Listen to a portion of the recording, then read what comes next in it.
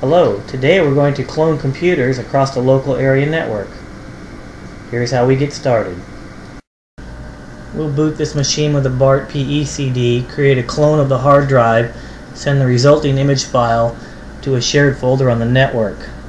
Then we can boot up these other machines and create clones by using that image file to overwrite the hard drive. That creates perfect clones of the original computer.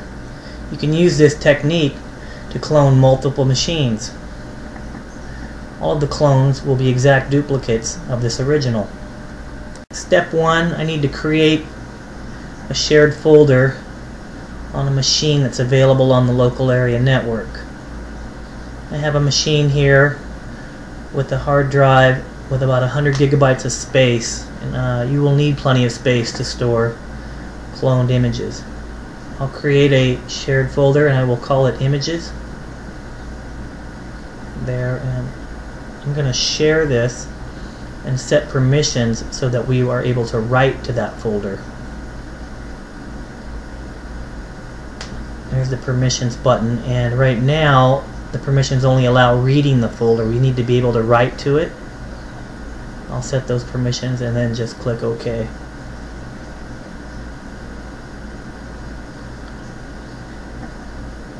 And there's one more OK.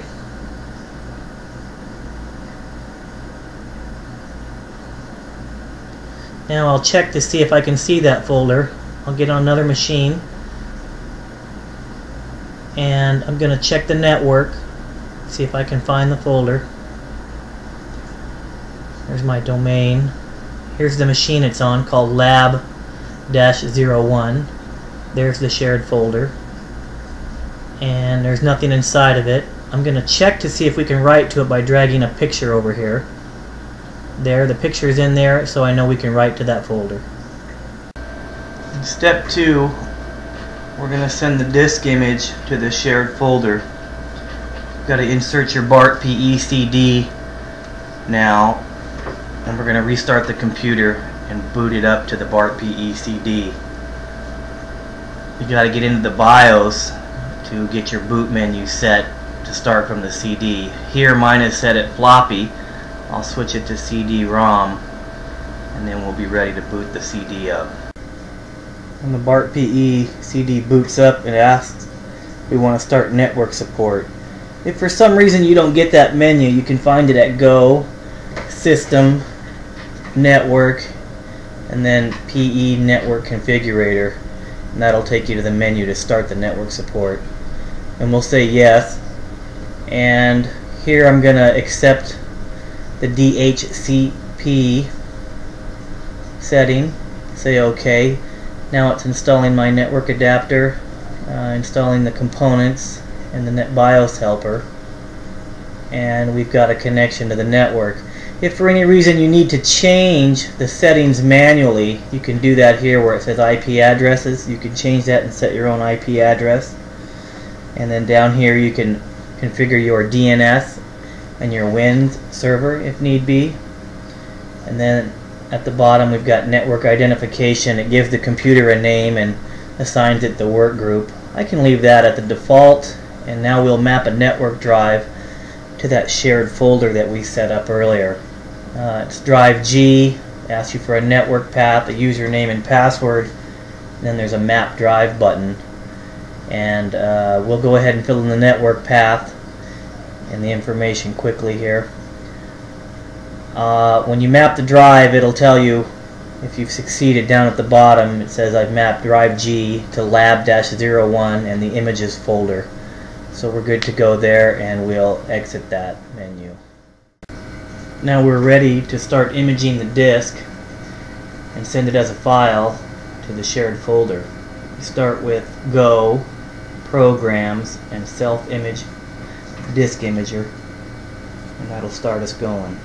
Our first choice is to set the input, which will be a drive, and I'm going to choose my C partition, which is my operating system of this drive.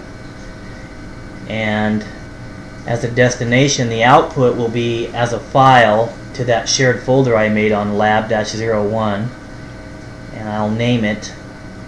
It's a Dell Optiplex 620 and I will save.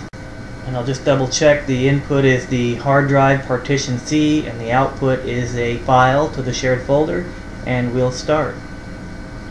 The file transfer speed will be somewhat dependent on network conditions and whether you chose to compress the file as it goes across to the shared folder.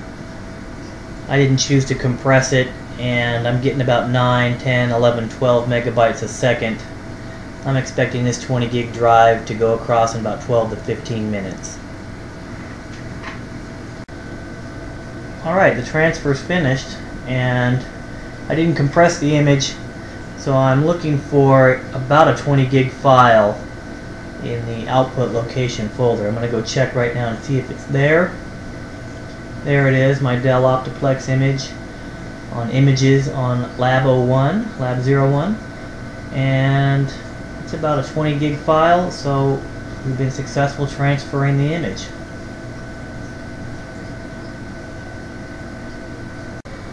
Third and final step, we'll create some clones from that disk image we put on that shared folder. We need to insert our BART PE CD on the machine we plan to clone. And we'll restart that computer and boot to the BART PE CD. If we need to get into the BIOS, we'll do that and check that the machine is going to start from the CD.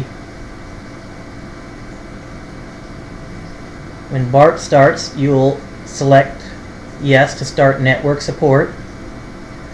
Start the disk imaging program. And the big difference here is that the input is now the file that's on the shared folder. The Dell Optiplex 620 image I have here. And the output is now a drive, or you could select a partition. I'm going to overwrite partition C and restore the operating system. You press start, and it will begin pulling the image across the network onto this hard drive, creating a perfect clone of our original computer. And that concludes our how to clone across the network video.